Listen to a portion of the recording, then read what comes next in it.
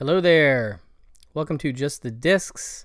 We talk about Blu rays here, and today we are going to unbox and talk about the new Sensual World of Black Emanuelle box set from Severin Films. Another truly epic undertaking from what is probably my favorite label when it comes to box sets. It's a close call between them and um, uh, folks like uh, Indicator, but um, boy, Severin really just puts so much into these sets. Now, this is a behemoth, this set. It is so heavy. It is heavier than the um, folk horror set they put out. It's just truly a beast. I can put it up here for y'all to see. Um, and I want to point out that uh, it has a very neat little thing where I'm not going to do it, but there's a ViewMaster function on this where you can flip the pictures. Um, had to be real careful with nudity on displaying this box. I've pre covered some um, nudity that's part of the packaging, but I'm not going to flip the um, ViewMaster. But you can see in the camera for Laura Gemser's um, you know uh, cover here, you can flip through different pictures of her uh, a lot of them naked. Um, so again, not going to flip that, but I, I do think that's a nice function that they've done. Just a cute little thing to add a little character to this box set, which is already just such an epic thing. Okay, so I'm going to slide out the. Now here's the the the case. The box itself is a very sturdy box, as you would expect from Severin. Really nice quality here. This is matte and some shiny finish um, just beautiful, just a beautiful thing, and yeah, I, I just I can't I can't uh, say anything but great things about their packaging. It's really really something special to go on your shelf. Um, and then these are the movies, um, and there there's a lot of stuff happening here. Uh, this is a 15 disc, 24 feature film set. Also has two soundtrack compilation CDs 40 hours plus of uh, bonus features, special features, and a 356 page book. That is right here, the Black Emanuelle Bible, edited by the great uh, Kier-La Janisse. Look how thick this thing is. This is incredible. Again, I can't really show you this. All right, here's one page I can show you. Um, but yeah, beautiful matte finish. Um, just a guide to every film. Beautiful, beautiful book. Uh, again, 356 pages. This is designed by Luke Insect and features new writings from noted film scholars and historians, as well as Laura Gemser's in depth 1996 Nocturno magazine interview. Uh, so that's all part of this beautiful book that comes with it. I'm just going to lead with that because that's incredible. And a part of the weight of the set is this book because it's really hefty and beautiful. Um, okay, so let's talk about what this set is.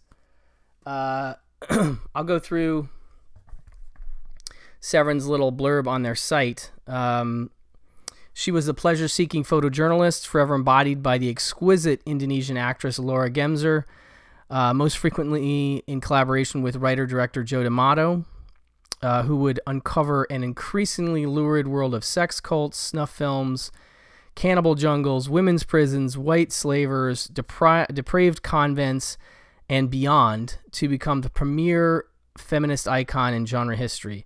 This landmark collection, produced by award winning writer director uh, Kier-La Janisse. So, again, she's behind uh, multiple sets that Severin has done, um, including the, the folk horror set and the. Oh gosh, uh, the other one that she had the book about that I'm blanking on. I'm sorry. I'll look it up in a second. But these have been some great um, sets from Severin. Just really well put together, well curated. Kay- Kier-La is really something special when it comes to film criticism, but also in terms of assembling these sets. Uh, just really, really wonderful stuff. Um, okay, so the uh, bring it brings together 21 Black Emanuelle films, two adjacent titles starring Eurocult her uh, heroine uh, Ajita Wilson, and the D'Amato documentary Inferno Rosso, most newly scanned, restored, uh, and on Blu-ray for the first time in America. That's saying most of the films are. That's the case for them. So that's incredible to put together this much stuff. Again, Severin just really does some amazing work, and I, I think I've acknowledged it on the channel, but I really want to make sure people understand how difficult and expensive this kind of thing is. This is a big investment of time and resources and money, and I'm not as familiar with these films personally, but the fact that uh, Kier-La's curated this set and um, House of Psychotic Women. Sorry, that's what I was trying to think of. Um, another beautiful set that Kier-La put together with Severin. Um, the fact that they've taken the time and energy to do this has me excited to check these films out. You know, it's never been something I've seen thus far, so this is all new to me. Uh, and there's a lot to take in here, so I haven't had a chance to really dig in, but I wanted to go through everything that's in this beautiful set with you guys. Um, so let's start with again, this box is so great. Uh, the first film in the set, disc one, contains uh, Black Emanuelle and Black Emanuelle 2. And I'm not going to do this for every one of these films. There's a great um, list on Letterboxd called Severin's The Sensual World of Black Emanuelle, and it lists all the films in order, and they've even I think gone so far as to um, copy the features from the site so that you get a sense of the whole pa- package here. But so the first film is Black Emanuelle. This is from 1975, um, directed by Beto Albertini, and it says uh, in her first on-screen adventure. Uh, journalist photographer May Jordan, known to her readers as Emanuelle, travels to Africa on an assignment questions of her own racial and sexual identity uh, come to the to a head as she observes the troubled marriage of her hosts, Anne and Gianni uh, Dan- Danieli. Matters are complicated further when Emanuelle finds herself in affairs with both of them after she flees Africa, only be to be pursued by Gianni, who had earlier rejected her and ridiculed her advances. So right away, establishing these are very um, sexual films. You know, there's a lot of nudity and sex involved in these films, and um, clearly that's just sort of part of the character and everything. So that's the first one. Uh, and then Black Emanuelle 2 from 1976, also by Beto Albertini. Beto Albertini. Emanuelle is now confined to a Manhattan psychiatric clinic with an acute case of extreme amnesia and depraved fantasies can her doctor unravel a Freudian nightmare of incestuous hungers, lesbian, lesbian longings, rampant nymphomania, and inexplicable body painting to solve the shocking mystery of her bizarre sexual trauma? So that's the second one. Now, these are both the first two discs, uh, the first two movies on the first set, uh, first disc of this set. Um, so these are it said I'm not sure that these are all X-rated. I, I don't know exactly how um, hardcore the sex is in these, but um, the first Black Emanuelle movie from '75 it lists triple X inserts as part of what's included. Audio commentary with film uh, programmer uh, Jasmine Moreno, um, exoticizing blackness and erotic sovereignty in Black Emanuelle, an interview with adult film historian Mireille Miller Young. So, um, The Reluctant Icon, a tribute to Laura Gemser by film historians Kier-La Janisse, uh, Stephen Broomer, and uh, Manlio Gamaras, Gomarasca, with animation by Leslie Supnet and Ashley Thorpe. So that sounds like a cool featurette right there. Black Emanuelle's Groove, uh, interview with composer Nico Fidenko. Um, yeah, so this is the first film in the set, and uh, that's what's included on that disc or that part of the disc. The aspect ratio is 185, audio uh, English mono slash Italian mono, region A, 96 minutes. Black Emanuelle 2 also has triple X inserts. Um, Adalberto, aka Bido, interview with film historian um, David Polici and Diva 70 interview with Dagmar uh, Lassender.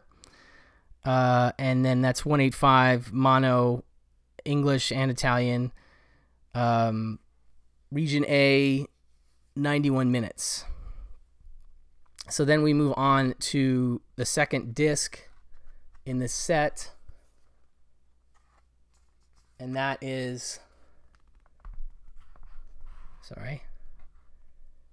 Um, Emanuelle in Bangkok, 1976, and Emanuelle in America, 1976. Um, this includes an audio commentary with professor of film Aaron O'Bouchon and a reflection of the times, an interview with actress Deborah Berger, and Ivan the Terrible and, act, and actor Ivan Rassimov discusses Emanuelle in Bangkok and Emanuelle around the world. Um, so Emanuelle around the world is coming up, but you have uh, the actor discussing both of them there. There's so many features. Each one of these is having commentaries and featurettes. Again, this is what Severin does so well in terms of putting these packages together and um, including so many extras. And yeah, it doesn't say on each one like which has been restored, uh, but like the back, the main um, message said most of them have been, and a lot of them are first time Blu-ray releases, so that's exciting. Uh, Emanuelle in Bangkok, 185 to 1, English mono, Italian mono, 94 minutes.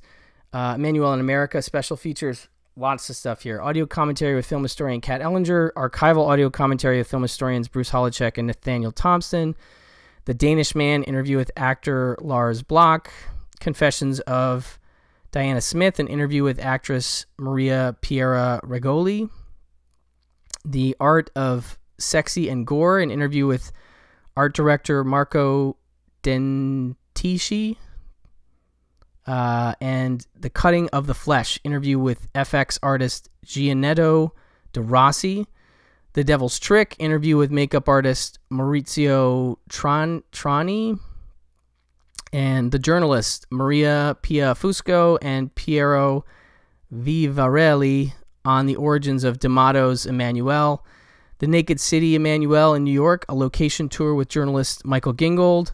That's all included on the Emanuelle in America disc. That's that's a lot of stuff just for one disc. Um, okay, so moving on from that, that's 185 to 1, English mono and Italian mono, uh, 100 minutes. Then we move on to our third disc, which again is Emanuelle Around the World and Emanuelle and the Last Cannibals. That those are both from 1977. In terms of features on Emanuelle Around the World, we have um, Around the World with Emanuelle interview with film historian Stephen Thrower, the great Stephen Thrower. Uh, not surprising that they got him involved. I love it when they do that.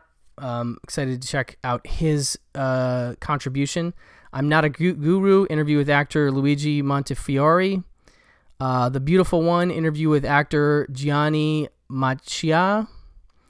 Uh, a tribute to Karin Schubert, the N- Naked Die actress. Video essay by Kier-La Janisse and Stephen Broomer, written by Jean Luc Maret, uh, author of Pornification V de Karin Schubert. So, man, they just really killing it in terms of how much stuff they're packing into these. I can see this 40 plus hours they're talking about piling up here. Um, in terms of specs, it's 185 to 1, English mono, Italian mono, 102 minutes, unrated cut.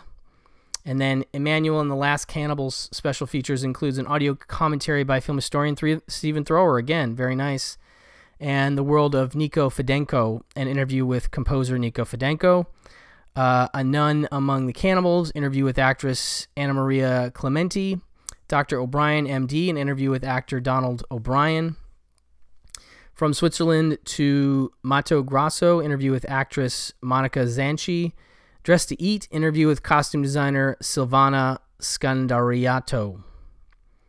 And that's 185 English mono and Italian mono, um, 93 minutes. We're moving on to disc number four. This is uh, Porno Nights of the World from 77 and Emanuelle and the Porno Nights of the World from 1978. Um, and uh, this one, uh, Porno Nights of the World, includes Master of the World interview with co-director Bruno Mattei. Uh, at the dining table interview with producer Franco Gaudenzi. The Naked Eye, Sex, and the Mondo Film uh, documentary with film historians Elizabeth Purcell, Mark Goodall, and Joe Rubin, of course, of Vinegar Syndrome, uh, involved in this one, so that's cool.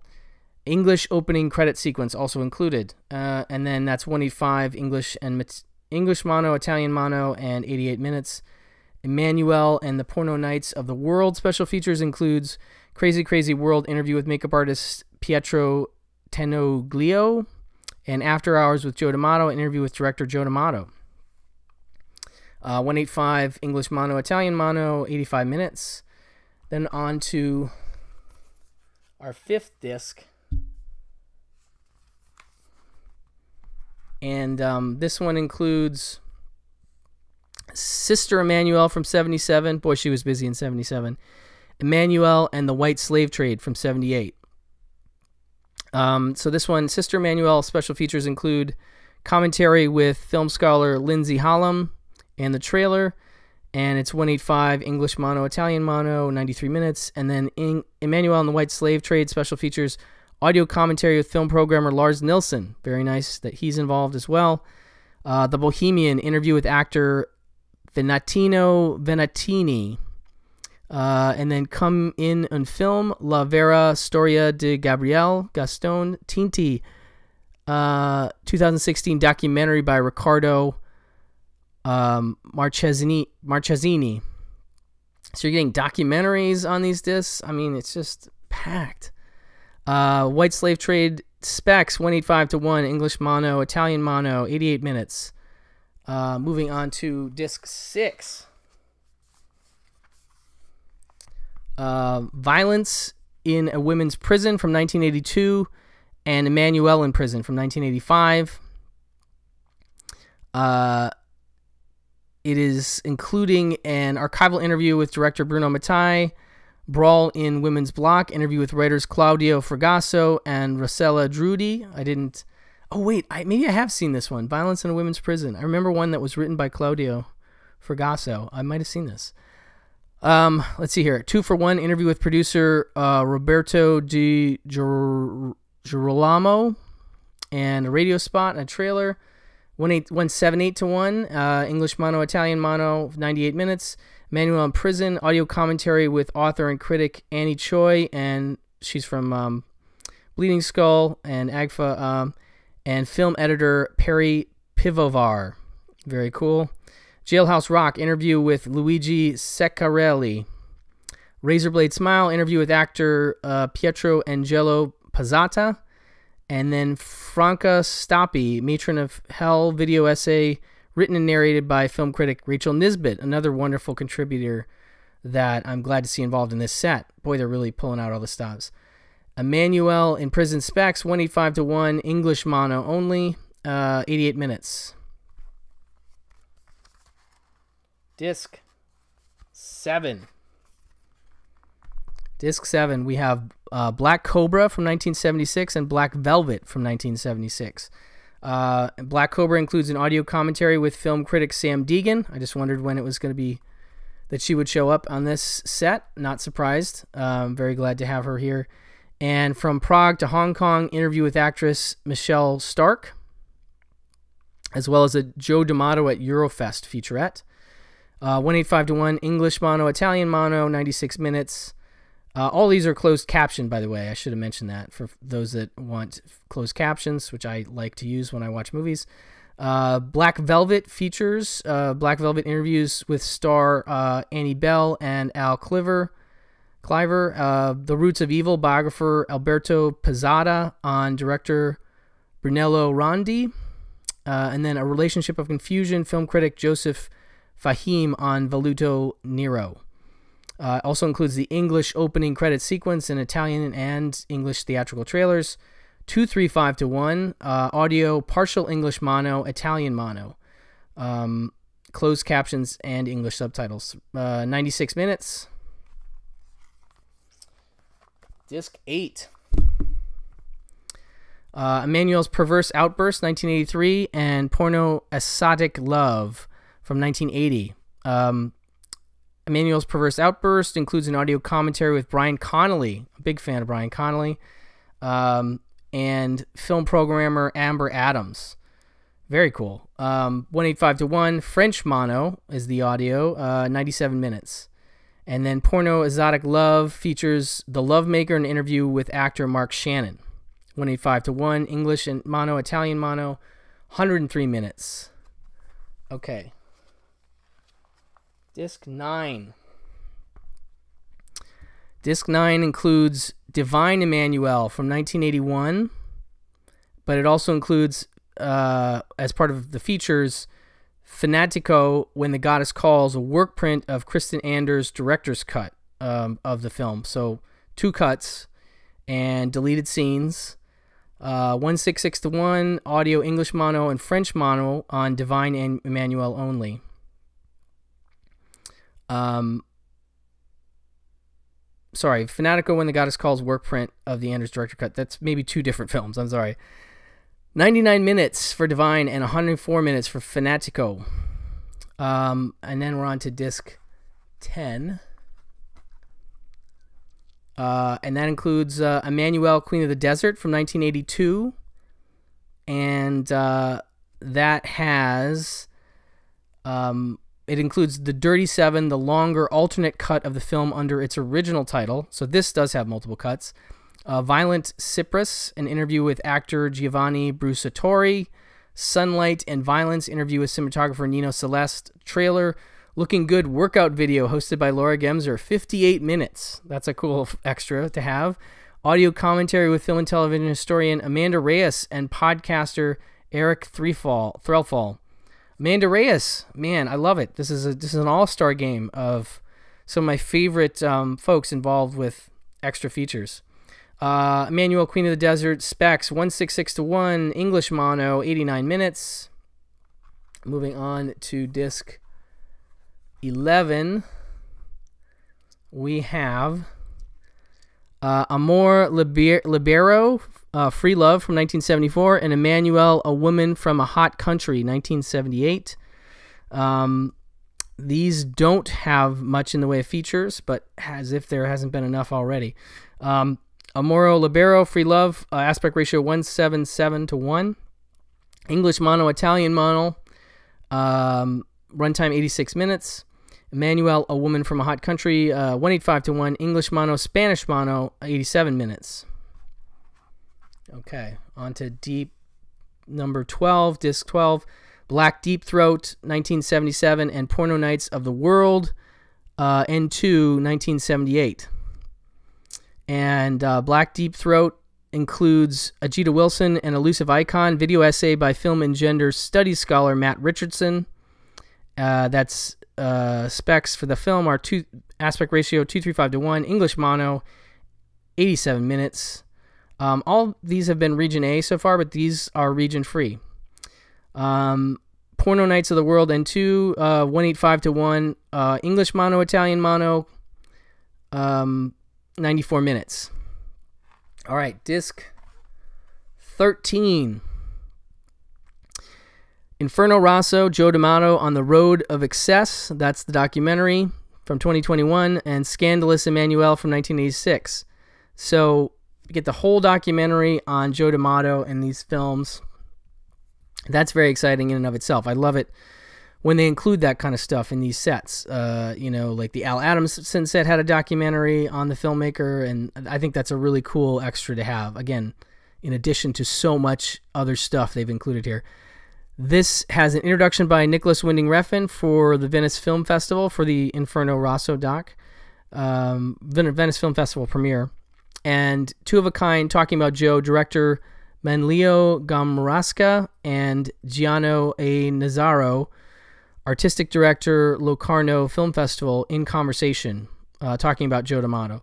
So that's cool. It has outtakes as well.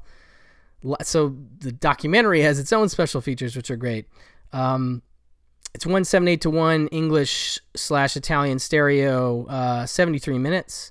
Scandalous Emanuelle includes an interview, Scandalous Christina interview with actress Jenny Tamburi, and uh, Peeping Lily interview with actress Lilli Carati.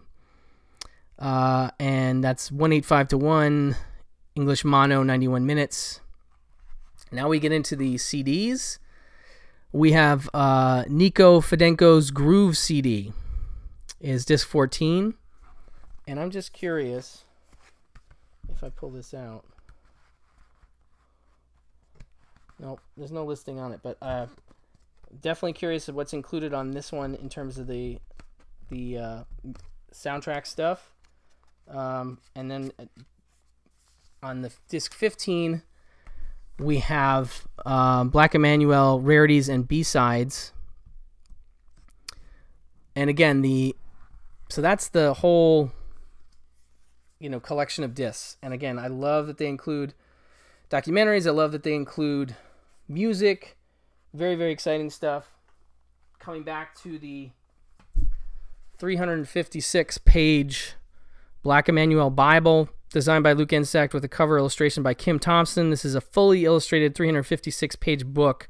It's the most substantial collection of writing ever devoted to the series, with essays by Kevin John Bozelka, Costas uh, Constanidis, Rachel Harrison, Alexandra Heller Nicholas, another favorite of mine, Kier-La Janisse, fantastic, Jennifer Moorman, uh, Xavier Aldana Reyes, George Rivera Gutierrez, and Aaron Wigand. Additional capsule reviews by Brian Connolly and Craig Ledbetter, and archival interviews with actress Laura Gemser and screenwriter uh, Maria Pia Fusco. So that's pretty fantastic. Just a beautiful book by itself. The kind of book they could easily sell on its own and it would do just fine. Just beautiful to look at. So, yeah, another amazing set from Severin.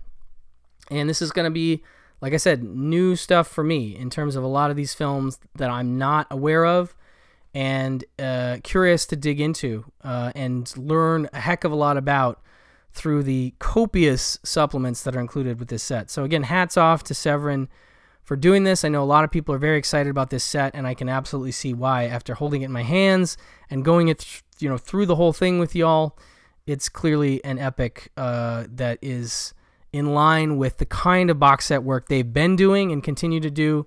So kudos to them. Anyway, thank you so much for watching. Thank you for listening, and I will talk to you soon. Bye bye.